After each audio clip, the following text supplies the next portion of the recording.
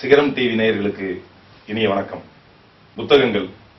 உலகத்தை மாற்றும் சக்தி படைத்த புத்தகங்களை பற்றி சிகரம் நேயர்களுக்காக சில அறிமுகங்களை செய்ய இந்த நிகழ்ச்சி. புத்தகங்கள். உலகத்தில் நடந்திருக்கின்ற பல மாற்றங்களை நடக்க இருக்கின்ற மாற்றங்களை கட்டியும் கூறும் ஒரு அற்புதமான சங்கதி. உலகத்தில் நடந்திருக்கின்ற பல மாற்றங்களை வரலாற்று நிகழ்வுகளை மனிதனோடு அமர்ந்து பேசுகிற ஒரு அற்புதமான பெட்டகம் புத்தகம். காதல் இயற்கை நட்சத்திரங்கள் வானம் மின்மினி பூச்சி அதன் பின்னே ஒழுகுகின்ற ஒளிவட்டம் இவற்றையெல்லாம் ஆச்சரியத்தோடு பார்த்தால் மட்டும் போதாது.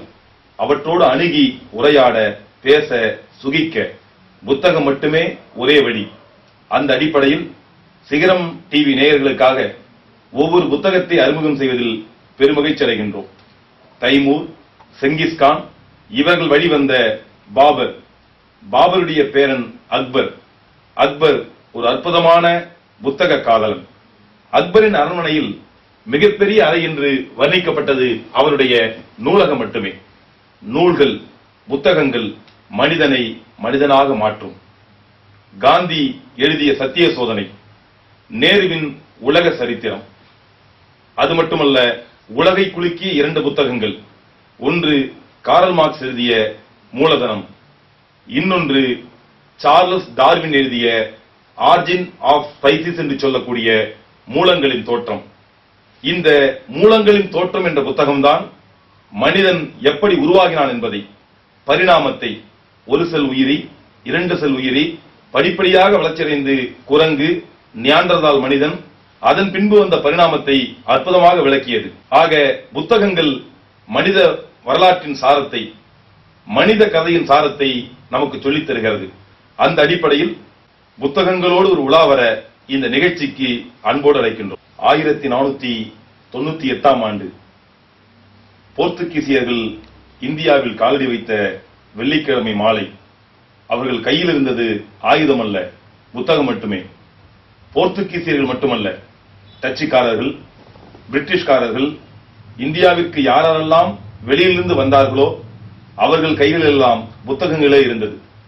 இவான் பதுதா என்று சொல்லக்கூடிய தென்னாப்பிரிக்க பயணி தன்னுடைய நாட்குறிப்பில் குறிப்பிட்டிருக்கிறார். அவர் அவருடைய ஒட்டுமொத்த வாழ்க்கையில் இருபத்தோரு ஆண்டுகள் பயணம் செய்து பயண குறிப்பு எழுதியவர். அவருடைய பயண குறிப்புகள் எல்லாம் உலகத்தை அறிந்து கொள்ள மற்றவர்களுக்கு வழிகாட்டக்கூடிய சிறப்பான குறிப்புகளாகும். அதே போல மார்க்கோ போலோ. மார்க்கோ போலோ இருபத்தி ஆறு ஆண்டுகள் வீட்டை விட்டு உலகத்தின் பல கண்டங்களை கடந்து மீண்டும் ஒரு வீட்டிற்கு சென்று சேர்ந்தபோது அந்த ஊரில் அவர் யாருக்கும் அடையாளம் தெரியவில்லை. இருபத்தாறு ஆண்டுகள் அவர் பெற்ற அனுபவங்களை கடந்த காடுகளை சந்தித்த நதிகளை நேசித்த மக்களை பார்த்த பறவைகளை எல்லாம் குறிப்பாக எழுதி வைத்திருந்தார். மார்க்கோபோலாவின் பயண குறிப்பு இன்றைக்கும் உலகத்தில் ஒரு அற்புதமான படைப்பாக திகழ்கிறது.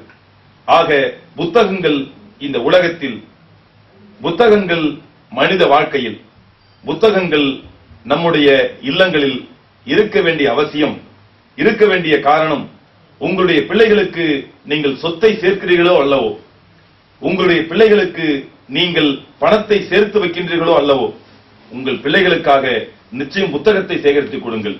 புத்தகங்கள் மட்டுமே உங்கள் பிள்ளைகளை நேர்படுத்தும் தமிழ்நாட்டில் இந்தியாவில் எல்லா வீடுகளிலும் ஒரு பழக்கம் இருக்கிறது. சாமி அறை இருக்கும் அதே போல சமையல் கூடம் இருக்கும். படுக்கை அறை இருக்கும். வரவேற்பறை இருக்கும். ஆனால் நூலகத்திற்கென்று ஒரு அறை வீடுகளில் கிடையாது. ஒரு வீட்டிற்கு மிக அவசியம் இரண்டே இரண்டு விஷயங்கள். ஒன்று கழிப்பிடம் மற்றொன்று நூலகம்.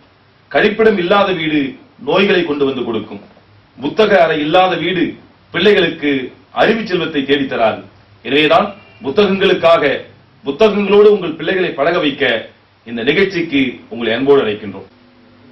வாவேசு ஐயர் தமிழ்நாட்டில் இருக்கக்கூடிய ஓலைச்சுவடிகளை தேர்ந்தெடுத்து மூளை முடுக்கெல்லாம் பயணம் செய்து சங்க இலக்கியத்தை நமக்கு அள்ளி வழங்கியவர். வாவேசு ஐயர் மட்டுமல்ல சுப்பிரமணிய பாரதி. ஆதலினால் காதல் செய்வீர் உலகத்தீரே.